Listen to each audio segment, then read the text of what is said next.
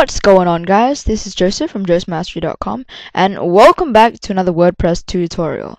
Now in this episode we're going to be learning how to implement Google Fonts into a web page. So without further ado, let's get started.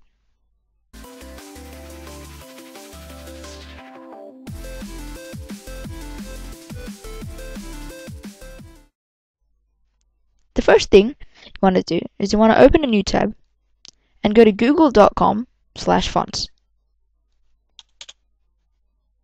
Just like so. Now, when you reach the page, you'll be greeted with numerous fonts. Now I'm going to select a few fonts here, some for titles, body, styles, and etc. And you can select your own, but I'm going to choose Oswald. Just click Add to Collection. Open Sans. Uh, Open Sans uh, condensed. Don't select too many or your website will slow down. But I'm going to select four just for learning purposes. What's another good one? Mm, I've got one good one. Dell. Oh wait, that's not there. I just forgot. Let's use Anton. Yeah, let's use Anton. Click Add to Collection. And once you've got all four, click Use. Okay, here you can see they ask you to choose which types of the font you want. Uh, I'm going to leave it default, you can select one. But keep in mind on the right, it tells you whether how slow or how fast your website will load depending um, on your font. So keep in mind, so if it's in the green, that indicates that it's alright. Let's scroll down and let's copy this code. And in our header.php, we're going to put that right underneath where we linked our style sheet. Save it. And now, let's go back to our web page. And it says here, integrate the fonts into your CSS. So this is how you're going to use the fonts. So let's say, let's go into here. Let's say we want this, the page title, to be Oswald. Let's copy this and let's find page title. Oops. Page title. And let's change the font here.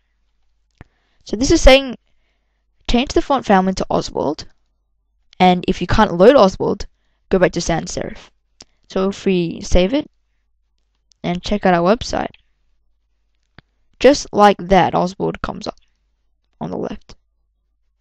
So what I want to do now is I want to style this a little bit. This looks a bit too close. I'm going to go here and type in letter spacing 1 pixel. Save it. So now instead of being really cramped up, the letters are a little bit spaced.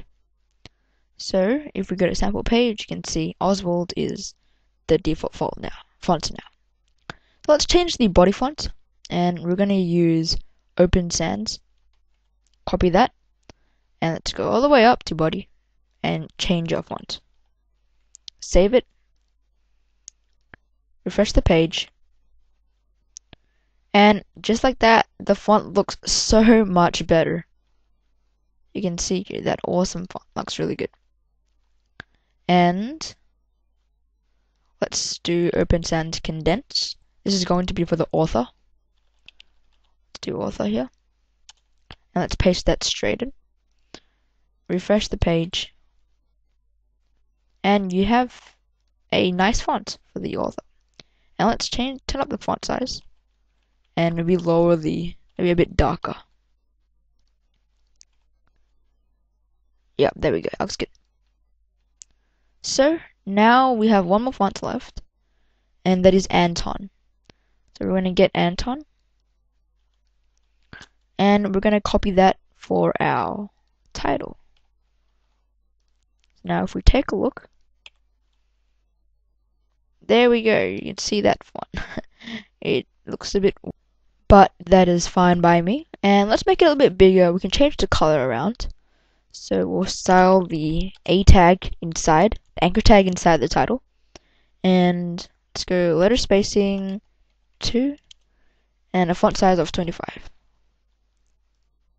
Refresh the page. Maybe a bit bigger. Let's try 40 pixels. Might be a bit big, but we'll see.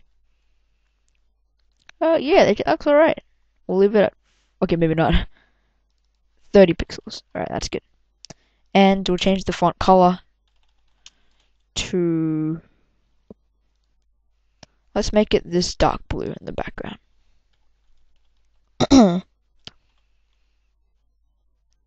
there we go. Now let's change this font to Oswald because I reckon Oswald will look good on that. Let's find the widget widget h2 and we'll copy this code and we'll put it here. Save our code and that looks so good. Yeah, it looks a lot better. So that's pretty much how you implement web fonts on our website. Uh, maybe in Backstage I might change the fonts up a little bit because some of them don't look very good. But it's up to you. Whatever, whatever fonts you like, you can implement. So, thanks for watching, guys. And I'll see you in the next tutorial where we'll be doing some new stuff. Okay, see you guys.